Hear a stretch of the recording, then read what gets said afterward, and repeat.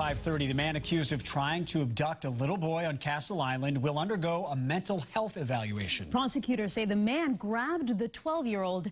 As WBZ's Christina Hager shows us, the suspect has a history of psychological issues. It is a popular spot here, and Castle Island was especially packed on Labor Day when this happened just before 3.30 in the afternoon. Wilfin Medina muttered to himself in court, his arms wrapped in toilet paper, his defense attorney said, to keep warm. It was sweltering hot when police say he started a nonsensical conversation with a mom and her son here Monday. Castle Island by the restroom. Uh, Boston 911 called a male party that tried to grab a child. Prosecutors call it an attempted kidnapping. The victim's mother said that the defendant was walking by and attempted to grab her child by the arm.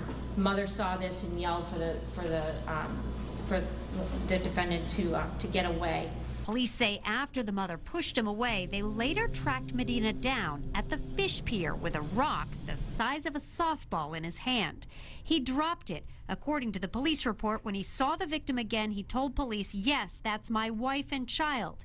In fact, they were strangers. He was palpably paranoid and psychotic. A court psychologist said Medina was just released from the hospital three days earlier. He's refused to take medication. At Castle Island, parents applaud the boy's alert mom. You just always want to try to make sure it doesn't happen to you and keep an eye on your kids. Never turn around for even a second. Um, anything can happen. A not guilty plea was entered on his behalf before a judge ordered Medina immediately undergo a psychiatric evaluation. The bail was set at $25,000. In South Boston, Christina Hager, WBZ News.